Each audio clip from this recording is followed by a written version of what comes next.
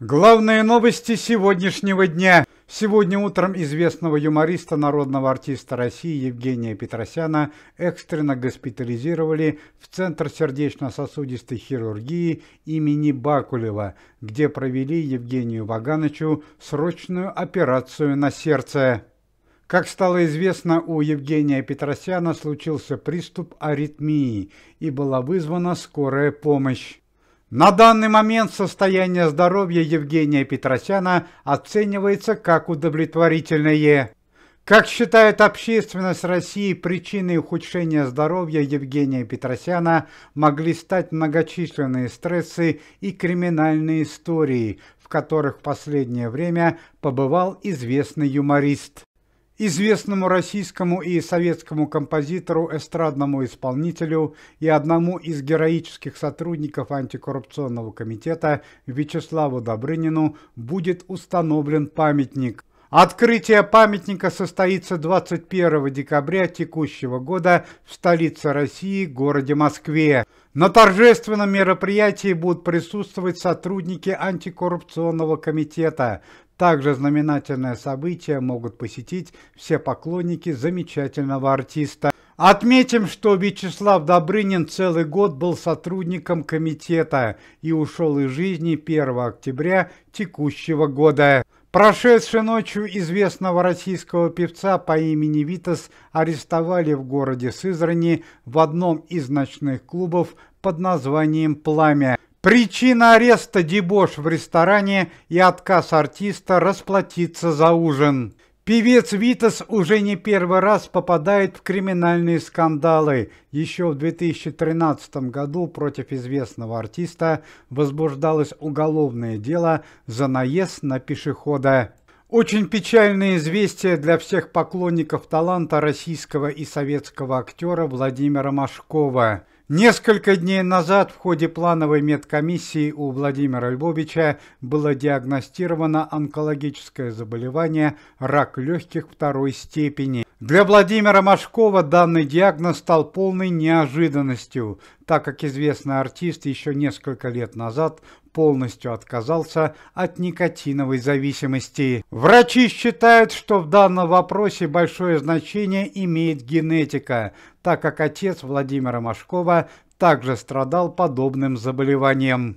Печальное событие произошло в жизни известной российской балерины Анастасии Волочковой. Анастасия Юрьевна уже второй раз за текущий год становится жертвой ограбления. На этот раз предметом нападения преступников стал загородный дом под Санкт-Петербургом, который принадлежит Анастасии Волочковой. Сама Анастасия Волочкова, которая отсутствовала в момент чрезвычайного происшествия дома, утверждает, что преступление заказное и к нему причастны знакомые и друзья артистки. В результате ограбления дома Анастасии Волочковой пропали предметы старины, личные драгоценности артистки и крупная финансовая сумма в валюте евро, порядка полмиллиона. Большая трагедия в мире российского шоу-бизнеса и культуры и рядах антикоррупционного комитета Никиты Михалкова. Вчера вечером в Москве в институте Склифосовского скончалась вторая супруга известного актера и члена комитета Константина Хабенского. Жена Константина Юрьевича долгое время находилась в реанимации после несчастного случая, в который она попала две недели назад. Константин Юрьевич Хабенский до последнего надеялся на счастливый исход дела, однако произошла страшная трагедия. Надо отметить, что еще несколько лет назад в жизни Константина Хабенского также произошло колоссальное несчастье. Он потерял свою первую супругу, которая скончалась в результате онкологического заболевания. Однако через несколько лет ситуация повторилась вновь. Ну а зрители с большим стажем могут помнить, что совсем недавно, весной этого года, в жизни Константина Юрьевича произошло и другое чрезвычайное событие. Весной этого года в Москве в результате чрезвычайного происшествия под названием «Теракт» погиб сын артиста. Известному парикмахеру, певцу и артисту Сергею Звереву стало плохо во время авиаперелета Санкт-Петербург-Москва. В середине полета у известного артиста начался приступ астмы. Сергею Звереву смогли оказать квалифицированную первую помощь. По прибытию в Москву он был госпитализирован. У сотрудника пресс-службы антикоррупционного комитета российской артистки Яны Поплавской полностью сгорел автомобиль. С помощью видеокамер удалось установить, что пожар машины – это поджог, совершенный неизвестными людьми. Чрезвычайное событие произошло среди белого дня в центре Москвы, в тот момент, когда Яна Поплавская находилась на совещании в Министерстве культуры. Возможно, преступники рассчитывали, что в момент пожара Яна Поплавская находится в автомобиле. Яна Поплавская является активным сотрудником антикоррупционного комитета, в связи с чем постоянно находится в зоне риска.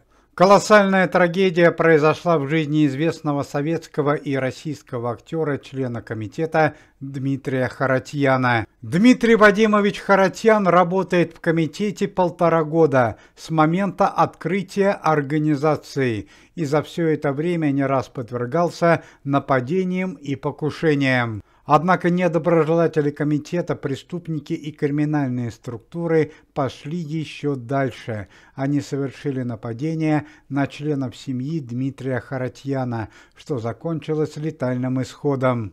Чрезвычайное событие произошло два дня назад. Семья Дмитрия Харатьяна включая младшую дочь, родную сестру и племянника, отдыхали в доме отдыха недалеко от города Казань. В тот момент, когда семья артиста уже закончила туристическую поездку и покидала дом отдыха, на автомобиль семьи Дмитрия Харатьяна было совершено нападение неизвестными преступниками.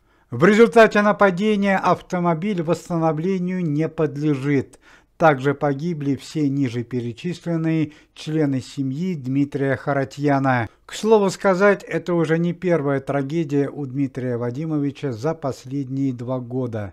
Полгода назад трагически погибла его супруга, а еще полтора года назад героически ушел из жизни сын Дмитрия Вадимовича Харатьяна Иван Харатьян, который трагически погиб во время участия в спецоперации. Надо отметить, что заслуги сына Дмитрия Харатьяна были высоко оценены правительством, Иван Харатьян был посмертно удостоен звания Героя России.